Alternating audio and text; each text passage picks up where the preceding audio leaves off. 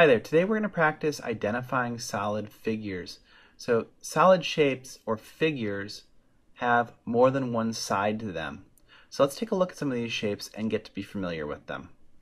So the first shape we have here is the cube. And the cube might look very familiar to you. It has a square for a face. Each one of these sides is a square. So let's think of some things that you might see that would be cubes. In your house, you might see your washer or your dryer, or a sugar cube that you might you might see your mom or dad put in their coffee or tea. These are all cubes. All their sides are equal in size, and that's what makes a cube different from the next shape we're going to look at. Now, this shape looks very similar to our cube, but notice how long the sides or edges are of this shape. They're much longer. This is called a rectangular prism. Rectangular prism. And it's a little bit different from a cube because it does not have equal edges. They're not all the same length. Some things you might see around your house that are rectangular prisms. You're at a tissue box, your refrigerator. These are all rectangular prisms.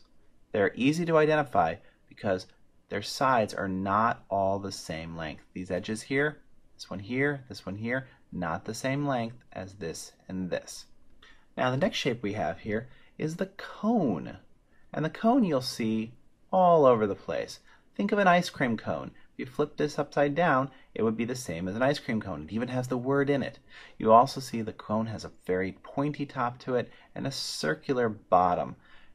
Some other things you might see traffic cones on streets, party hats. These are all cones. Now the next shape we have here, most people start to say, oh, it's a circle, but it's not. It's actually called a sphere. Now a sphere, which is a tricky spelling, a sphere, you might see a ball, the earth, a globe in your classroom. These are all spheres. They're completely rounded. Finally, we have this shape here. Notice the circular top and circular bottom to it. This is called a cylinder. If you think about in your house or in your classroom things that might be cylinders, a cup is a cylinder, a straw is a cylinder. These are all things that you might see. Think about things that you might see in your home. Maybe a paper towel holder anything that is a shape of a tube is a cylinder. Now let's go see if we can identify some of these shapes. Okay, here we have a shape, and I think you probably recognize what this is. I'm not going to say the name of it because it might clue you in, but what shape, what solid figure is this? If you said cone, C O N E, you're completely correct. This is indeed a traffic cone. Now you can see why they're called traffic cones because they're actually in the shape of a cone. If I draw here, you can actually see right here that we have the cone shape. Nice work. Now how about this soda can? What shape is it? Notice it's got a circular top and a circular bottom, rounded sides. What shape would that be? If you said cylinder, pat yourself on the back. This is indeed a cylinder. Great work. Finally, we have two shapes here. We have a microwave and a beach ball. Can you point on your screen to the rectangular prism? Which one is the rectangular prism? You're right, this microwave right here, that's the rectangular prism.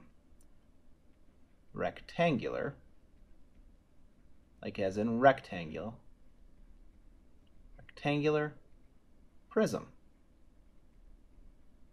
Think about microwaves, refrigerators, cardboard boxes, those are all rectangular prisms. They're a rectangular shape. And if that's a rectangular prism, what is this beach ball? We know it's our one solid figure that is a round shape. And if you said sphere, give yourself another pat on the back because this is indeed a sphere. The sphere is the one that looks like a circle. Great job. To review, let's match up these names to these shapes. So here we have shape with longer edges than other edges. What shape is this? What solid figure? If you said a rectangular prism, you are correct. Remember, it's not quite a square, it's rectangles, and you can see the shape of rectangles in it. What shape do we have here? Think about a witch's hat, or think about an ice cream. If you said cone, pat yourself on the back, you're right again. How about this shape here?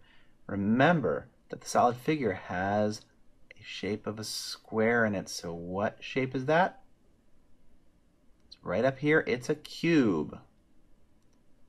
How about this shape here? Identify this solid figure. It's got circles on the top. It's round like a tube. And if you said cylinder, you're great. You've done very well. Finally, what is this shape here? Think of a globe or the earth. It is a sphere. Looks like a circle, but it's round all the way around on all sides. Great job. Today we've been practicing identifying solid figures. You've been learning about the cube, the cone, the cylinder, the rectangular prism, and the sphere.